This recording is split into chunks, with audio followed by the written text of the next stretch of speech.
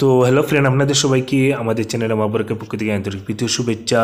তো আজকের ভিডিওতে আমি আপনাদের সঙ্গে এডিআরই গ্রেড থ্রি এবং গ্রেড ফোরের যেগুলো রয়েছে পরীক্ষা, তো পরীক্ষার জন্য প্রয়োজনীয় যেগুলো রয়েছে জিকে হোক অথবা কোয়ান্টিটেটিভ অ্যাপটিটিউড বা রিজনিং বা ইংলিশে যেগুলো থাকবে কোয়েশন আমি আপনাদের সঙ্গে একটু শর্টকাটে শেয়ার করার চেষ্টা করব, করব। তো যতটুকু সম্ভব থাকবে আপনাদের সঙ্গে শেয়ার করব এবং প্রয়োজনীয় কোয়েশনগুলোই বা প্রয়োজনীয় পরীক্ষায় আসার মতো এরকম কোয়েশনগুলো আপনাদের বা টপিকগুলো শেয়ার করার চেষ্টা করব। তো আজকের ভিডিওতে হচ্ছে আসাম রিলেটেড কিছু জিকে তো আপনারা স্ক্রিনে দিতে পারেন, আমরা নেক্সট ভিডিওতেও আরও কিছু শেয়ার করার চেষ্টা করব।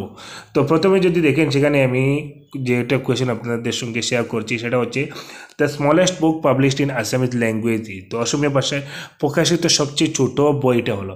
তো বইটার নাম রয়েছে, এখানে দিতে পারেন কামিনী কণ্ঠ। কার দ্বারা লেখা হয়েছে বা লেখকের নাম যদি দেখেন, সেখানে দিতে পারেন শাকিল ইনজাম হোসেন। তো যদি সাইজের কথা দেখেন, সাইজটা কত রয়েছে, সেখানে রয়েছে ten point five centimetre into ব্রেথে রয়েছে সেভেন সেন্টিমিটার তো পেজের কথা যদি বলি, সেখানে দেখতে পারেন থার্টি টু পেজ রয়েছে। তো নেক্সট পয়েন্টটা যদি আপনারা দেখেন, সেখানে দেখতে পারেন name the person who is famous in Assam Kishori তো আসাম কিশোরী বিখ্যাত ব্যক্তি হচ্ছেন কে? তো এখানে দেখতে পারেন অম্বিকাগিরি রায়চৌধুরীকে আসাম কিশোরী হিসাবে জানা যায়। তো আনসারটা আমি পরে এমসিকিউ শেয়ার করার চেষ্টা করব, সেখানে অপশন থাকবে। এখানে শুধু আপনারা দেখুন এবং এগুলো নোট করে নেওয়ার চেষ্টা করুন। তো এরপরে রয়েছে world lowest price lowest price magazine is publish from which district of Assam তো বিশ্বের সবচেয়ে কম দামের পত্রিকা আসামের কোন জেলা থেকে প্রকাশিত হয়েছিল? তো এখানে একটা মিসিং হয়েছে। তো আপনারা একটু দেখতে পারেন যে ম্যাগাজিনটার নাম আপনাদেরকে জানিয়ে দিচ্ছি, সেখানে দেখতে পারেন কলাজ কস্ট যেটা রয়েছে ফাইভ পয়সা তো সঙ্গে দেখেন যদি পাবলিশ পাই যে কারা পাবলিশ করেছিল বা প্রকাশক কারা, শব্দ পাবলিকেশন এবং সেটা হচ্ছে বাই মান্থলি ম্যাগাজিন তো এটা আপনারা এখানে দেখে নেওয়ার চেষ্টা করবেন। তো আমি নেক্সট ভিডিওতে সেই ডিস্ট্রিক্টটার নামটা শেয়ার করে দেওয়ার চেষ্টা করব। তো নেক্সট পয়েন্টটা যদি আপনারা দেখেন the original name of Chilarai এ চিলারায়ের আসল নাম হলো। তো চিলারায়ের আসল নামটা এখানে যদি দেখেন, সেখানে দেখতে পারেন চিলারায়ের আসল নাম হচ্ছে শুক্লধ্বজ। নেক্সট পয়েন্টে যদি আপনারা দেখেন the first headquarter of Sukaphaa is তো চুকাফাদের প্রথম হেডকোয়ার্টার ছিল। কোন জায়গায় ছিল? তো আপনারা এখানে দেখতে পারেন, প্রথম হেডকোয়ার্টার ছিল টাইপাম তো চুকাপাদের বিষয়ে আরও কিছু পয়েন্ট ওয়াইজ আপনাদেরকে শেয়ার করব, বা চুকাফা রিলেটেড বা যেগুলো ট্রাইব থাকবে ট্রাইব রিলেটেড আমি সেপারেট সেপারেট ভিডিও দেওয়ার চেষ্টা করব, যাতে আপনারা ডিটেলসগুলো জানতে পারেন, বা কোয়েশনগুলো কোথায় কোথায় থেকে আসতে পারে, সেগুলো আপনারা দেখতে পারেন। তো নেক্সট পয়েন্টে যদি দেখেন, সেখানে রয়েছে the first the first marriage registry was in Assam তো first marry registry registry marriage sorry the first registry marriage in Assam তো আসামের রেজিস্ট্রি ম্যারিয়েজটা প্রথম যে রেজিস্ট্রি ম্যারিয়েজটা হয়েছিল, সেটা কি? তো যদি আপনারা এখানে একটু দেখেন, সেখানে দেখতে পারেন, আসাম প্রথম রেজিস্ট্রি বিভাগ ছিল। সেটা হয়েছিল কত সালে? তো এখানে নিতে পারেন, আঠারোশো সত্তর সালে।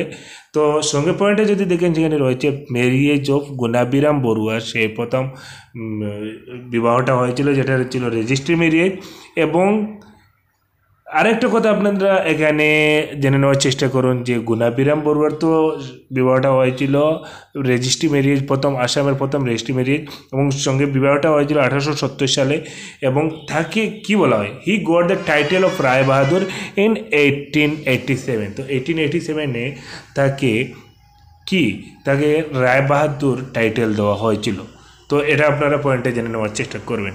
নেক্সট পয়েন্ট যদি দেখেন the first person who print Kirtan Ghosa on the bark of সাচি tree তো সাচি প্রথম ব্যক্তি যিনি সাচি গাছের চালে কীর্তন গুসা পান তো এগুলো আসাম রিলেটেড রয়েছে আপনারা এগুলো জেনে নেওয়ার চেষ্টা করবেন। আসাম জিকে রিলেটেড তো আসামের রয়েছেন কীর্তন আহ, যে ব্যক্তি কীর্তন উম, সাচি গাছের চালে চাপিয়েছিলেন। তো প্রথম ব্যক্তি যিনি সাচি গাছের চালে কীর্তন ঘোষ চাপান তিনি হচ্ছেন হরিবিলাস আগরওয়ালা। তো প্রথম অপশনটা আপনারা জেনে নেওয়ার চেষ্টা করবেন।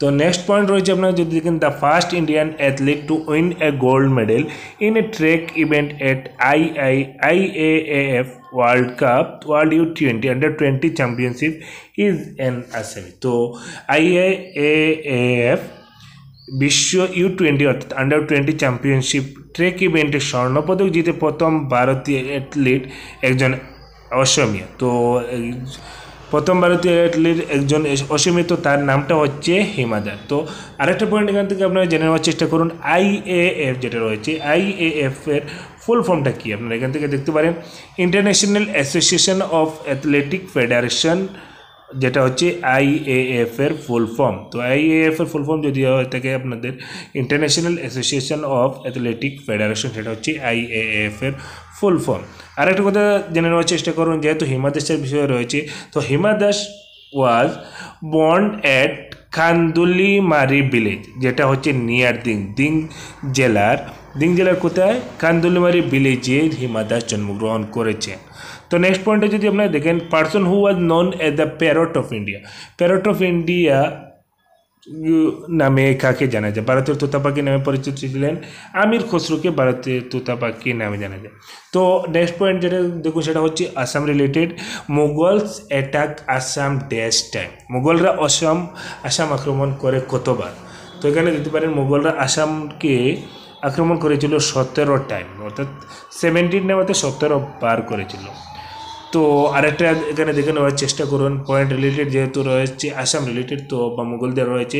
তো Mughal attack the Ahom kingdom Ahom কিংডমকে কত বা আসামে কত সালে সেখানে তারা করেছিল সেটাও যদি আপনাদের কোয়েশন আগে এসে থাকে, তাহলে আপনারা প্রথম যে আক্রমণ করেছিল আসাম সেটা হচ্ছে ষোলোশো বাষট্টি, অর্থাৎ সিক্সটিন সিক্সটি টুতে তো দে অ্যাটাক আন্ডার মির্জুল্লা তো প্রথম যেটা তারা অ্যাটাক করেছিল বা আক্রমণ করেছিল, সেটা কার নেতৃত্বে করেছিল? তো সেটা হচ্ছে মির্জুমলার নেতৃত্বে তারা সেই আক্রমণটা করেছিল। নেক্সট পয়েন্ট আপনারা দেখতে পারেন they got hold of Guwahati but could not last long তো তারা এখানে দেখতে পারেন। গুয়াহাটিতেই রয়েছিল, কিন্তু বেশ কিছু দিন সেখানে তারা থাকতে পারে নাই। তো নেক্সট পয়েন্টে দেখতে পারেন, আমি একটু শর্টকাটে আপনাদের সঙ্গে শেয়ার করছি যাতে ভিডিওটা বেশ লম্বা না হয়। তো নেক্সট পয়েন্টে দেখতে পারেন the battle of Saraighat was fought তো সরাইঘাটের যুদ্ধ হয়েছিল, কত সালে? সেটা হয়েছিল ষোলোশো সিক্সটিন সেভেন্টি ওয়ানে তো সিক্সটিন সেভেন্টি ওয়ানে হয়েছিল তো কার মধ্যে হয়েছিল? তো এখানে যদি হয়ে থাকে যে ব্যাটেল অফ সারাইঘাট হয়েছিল, তো কার কার মধ্যে হয়েছিল? সেটা হচ্ছে between Ahom empire of Assam and the Mughal অর্থাৎ আহমের মধ্যে এবং মুঘলদের মধ্যে ব্যাটেল অফ সরাইঘাট হয়েছিল এবং সেটা কত সালে হয়েছিল? আপনারা এখানে দেখতে পারেন স্ক্রিনে রয়েছে সিক্সটিন সেভেন্টি ওয়ানে নেক্সট পয়েন্টে যদি যান the year in which Patharughat peasant revolt against British in Assam was started যে বছর আসামে ব্রিটিশদের বিরুদ্ধে প্রত্যরঘাট কৃষক বিদ্রোহ শুরু হয়েছিল। তো পাথরঘাট কৃষক বিদ্রোহ শুরু হয়েছিল আসামে, সেটা শুরু হয়েছিল কাদের বিরুদ্ধে, কার বিরুদ্ধে? ব্রিটিশদের বিরুদ্ধে।